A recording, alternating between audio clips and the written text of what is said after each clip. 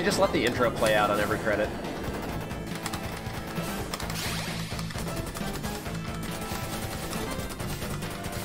Yeah, I'm not I'm not dying on the first boss. Fuck that. If you consider that the first boss, that's not even the end of the stage.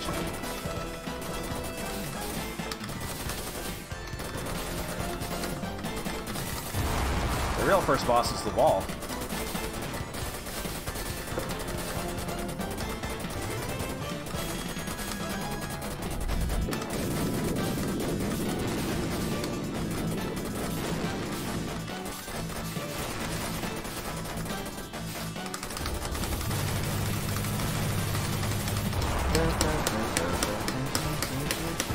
I was trying to do the, the helicopter boss too quickly.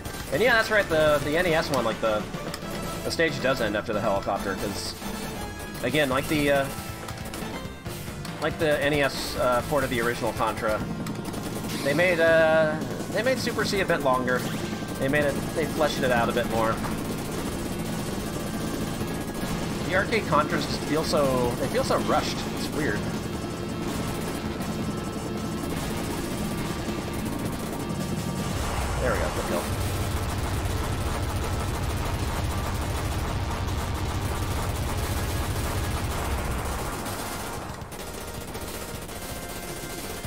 Yep.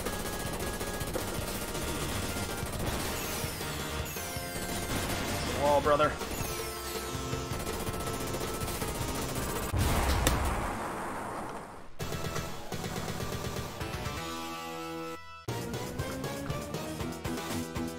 Yeah, exactly. When you have a short game, it, it keeps game time down and gets some somebody else to put in a quarter.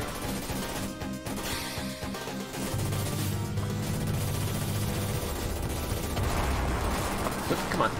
Give that shell. Shell available.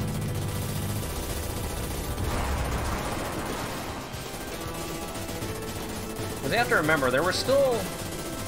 It was around, like, the mid-80s, like, arcade games started having endings more often. Like, there were still...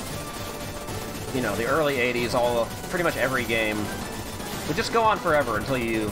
Until you lost all your lives. Or until the game crashed. Unless it was a unless it was a timed game, unless it was like a racing game or something. But there was a definite uh, a lot of those Golden Age games kind of made it possible to marathon if you uh, if you could play for hours on one credit if you got good enough. But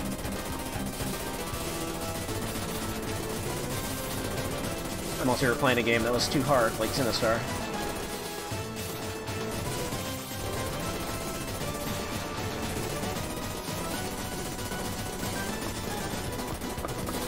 And Konami kind of like so so games started having endings more and more often and like a lot of a lot of games you can just buy your way to the ending if you uh, if you want to continue.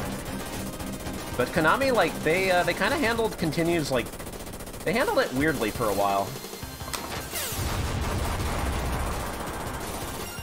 Because you don't you don't have infinite continues in this game. You're given you can continue up to three times and then it's over. Which is kind of weird because the game's so short in the first place.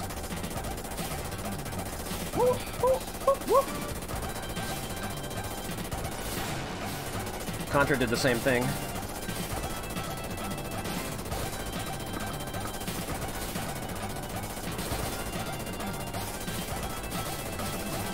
Stupid foreground. Okay.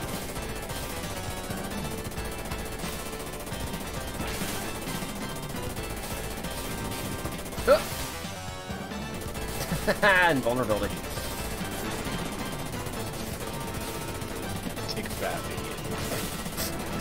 Ultimo, thank you for the bits. Alright. Hey, I haven't died yet.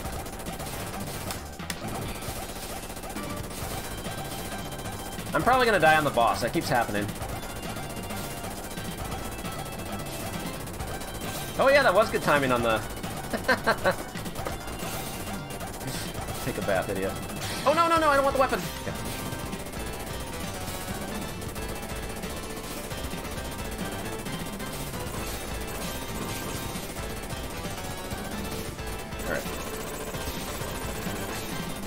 Totally not aliens.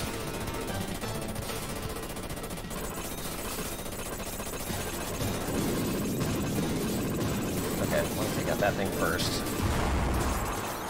There we go. I always fuck that up and, like, I jump at the wrong time.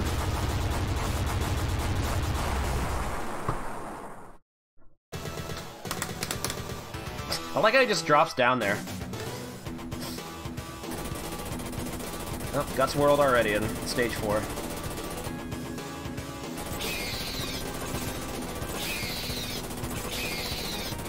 This stage is kind of annoying just for these uh, these slopes, because these aliens take take multiple hits, and the slopes kind of block your shots.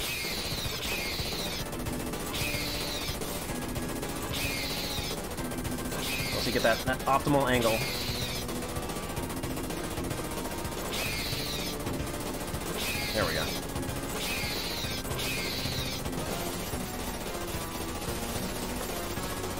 Wiggle, wiggle, wiggle.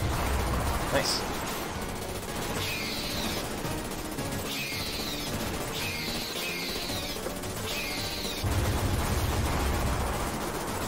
Whee! Slide down.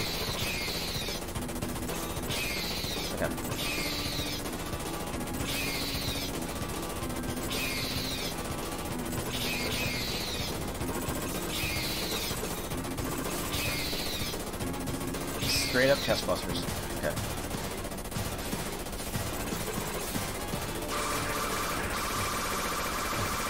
Quick kill this motherfucker. And the final stage is a is a top-down stage. Great.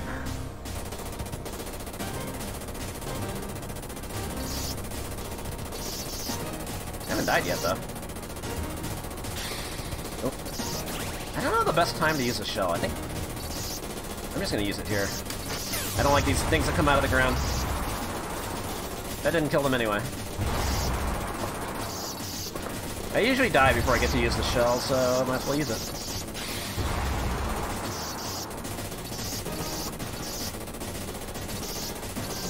Yeah, I mean, spread's not bad in this game. It's better than the, the default gun, but...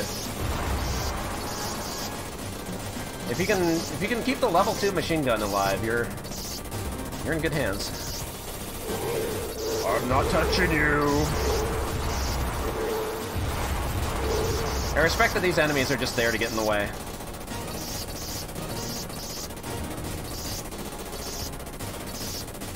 Alright, the, the soccer ball gauntlet.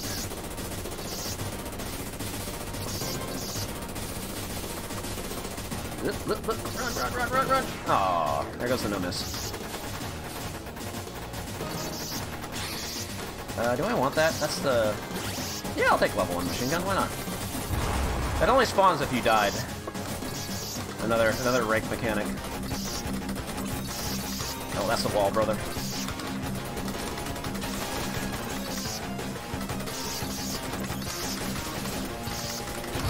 There we go.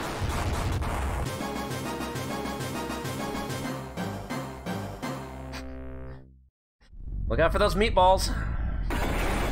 Those meatballs will actually kill you. That happened to me the first time. Alright, to your last boss.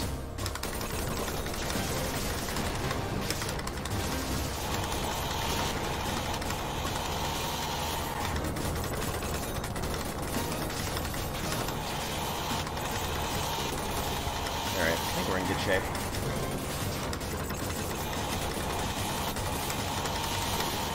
You don't have to kill the the arms on the side. Might as well do it though.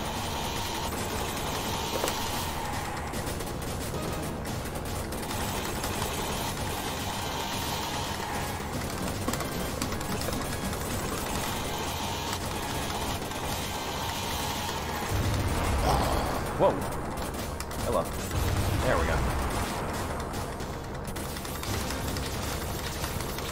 Shoot the brain. Hey, only one death, not bad. And then the little baby escapes. I know, Dan. We still got to do that uh, that two-player 1cc. Oh, Bill's jacking it.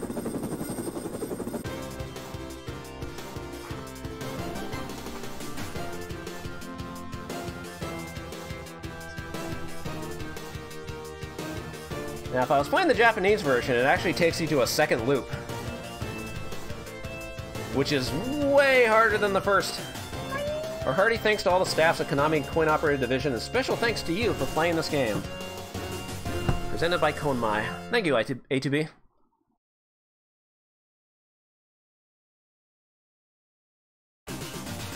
The end.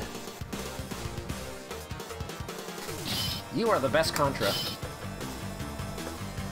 Oh, I didn't even mention the uh, the first time I saw this game in an arcade.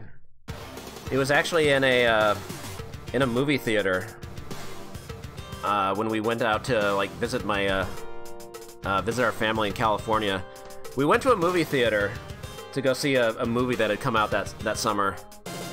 A movie called Willow. What is this place?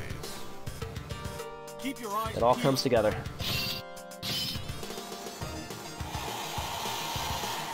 Have I done Midnight Resistance yet? You might just see it tonight. You never know.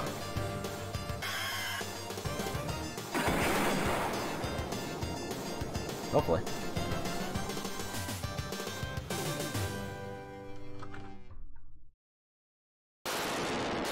But yeah, needless to say, I asked mom for for quarters to uh, so I could play this. Like, oh shit, Super Contra.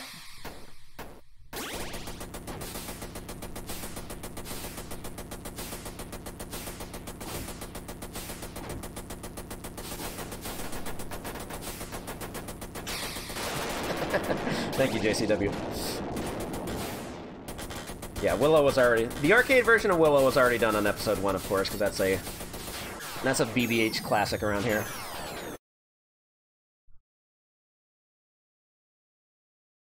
Alright, let's let's shift gears from, from Konami for just a little bit. Do another game I've I've done on this